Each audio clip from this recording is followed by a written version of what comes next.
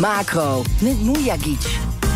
Edin, welkom. Goedemiddag, dankjewel. Ja, de centrale banken die zijn al eh, lang bezig om de inflatie eh, te beteugelen. Ja. De Fed wil dat de inflatie eind volgend jaar, eh, begin eh, 2025, weer terug is naar die 2% Gaat dat lukken? Nou, we gaan het hier ehm, over enkele weken weer hebben over eh, onder andere de Amerikaanse Fed, die weer de rente gaat, heeft verhoogd tegen die tijd. En ehm, eh, eh, om dat even voor te zijn, gaan we proberen eh, om de wereld daarachter achter te schetsen. Want je zou heel snel de indruk kunnen krijgen dat het allemaal gaat zoals het gaat en zoals het moet gaan. Ehm, waar heb ik het over? Nou, als je kijkt naar wat de Fed verwacht voor de komende jaren. De bank zegt, eh, de inflatie is nu nog aan de hoge kant... maar zo'n beetje eind 2024, begin 2025... zijn we terug op die vurig gewenste 2% per jaar. Ehm, eh, de prijs die je daarvoor betaalt zal iets hogere werkloosheid zijn. We gaan naar 4,6% werkloosheid. Nog steeds historisch laag. Ja. En gedurende al die tijd maken we geen recessie mee. Afkoeling, maar geen recessie. Dit is als je economen hoort praten over soft landing. Dit is dus alles wat mee kan zitten, zit mee. Eh, nou, soft landing aan zich komt heel weinig voor. Is het onmogelijk? Nee, maar de kans is veel heel klein. Nou, het Amerikaanse stelsel van centrale banken heeft één centrum in Washington. En er zijn twaalf regionale centrale banken. En die zitten toch wat verder weg van het bestuur.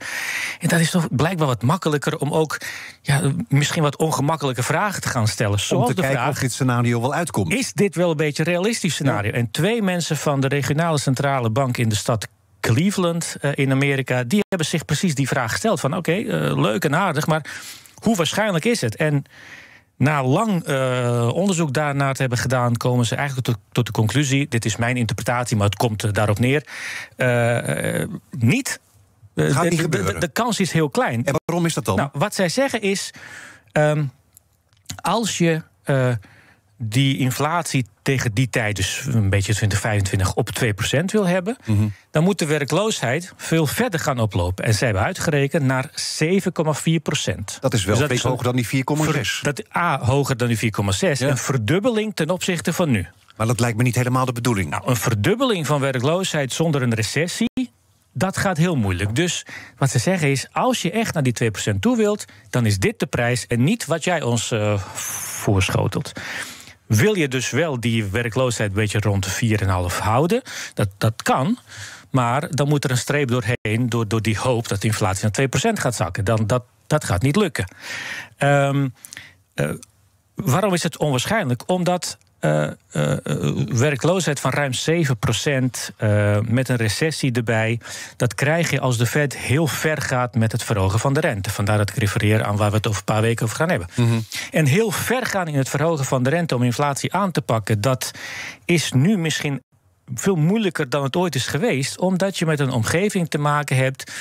Eh, waar je niet eerder mee te maken hebt gehad. De schulden zijn heel hoog. Dus je weet simpelweg niet hoe eh, de huishoudens, hoe bedrijven, hoe de overheden, hoe, hoe die hele economie gaat reageren als je die rente te ver eh, doorvoert. Ja, dus je kan de rente niet flink verhogen. En als je het lager doet, dan blijft die inflatie hoog. Nou, het mooie van, van zo'n gedecentraliseerde centrale bank in Amerika is... er is een andere regionale centrale bank waar ik dan even ga buurten. En die houdt bij... ehm, wat zeggen een aantal eh, stelregels uit de monetaire economie? Wat voor rente heb je nodig om vrij zeker ervan te zijn dat de inflatie over een jaar of twee naar 2% gaat? En zij zeggen, nou, dan, dan moet die eh, rente die de Fed vaststelt, moet ergens tussen de 6 en 7,5 procent gaan liggen.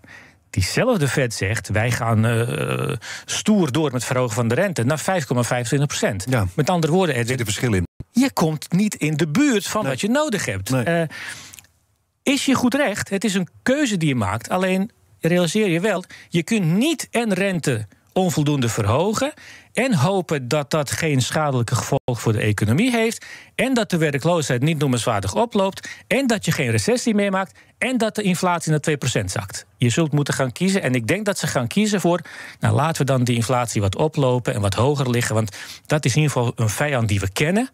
Eh, in tegenstelling tot als we te ver doorgaan met renteverhoging. dan zou je zomaar chaos kunnen krijgen. En daar zit echt niemand op te wachten. Nee, geldt hetzelfde voor Europa? Ehm, uh, tot op zekere hoogte wel. Ook hier hebben we van, van die stelregels die je helpen om, om, om te bepalen wat voor rente de Europese Centrale Bank moet, uh, moet hebben om op termijn naar 2% te gaan. Uh, die schattingen lopen uiteen, maar ruwweg moet je ergens tussen 4 en, en 5 procent gaan zitten. Niet toevallig het niveau wat we voor 2008 hadden. Uh, nou, als ik, uh, als ik kijk naar de ECB en luister naar wat de bank zegt in de toekomst te gaan doen, nou, dan, dan gaan we naar 3,5 procent. En dat is het dan ongeveer. Nou, ook dus hiervoor geldt ook je schiet een beetje tekort. Ja, dus de inflatie blijft uh, de dus komende jaren nog hoog. Voor ons, de gewone man slash vrouw, de luisteraar... Uh, ik denk dat je erop uh, moet voorbereiden dat het decennium waar we aan zijn gestart... dat de kans toch groot is dat het een soort inflatiedecennium wordt. Geen schrikbarende percentages van 10, 15 procent per jaar. Maar hoger dan 2 procent. Hou rekening met zo'n zo tussen de 3 en 5 procent...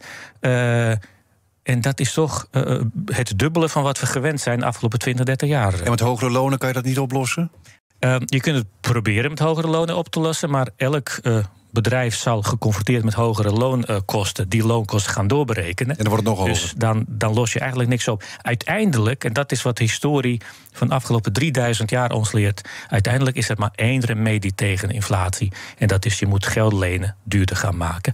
En, niet, uh, en veel duurder dan wat de Fed en de ECB nu willen.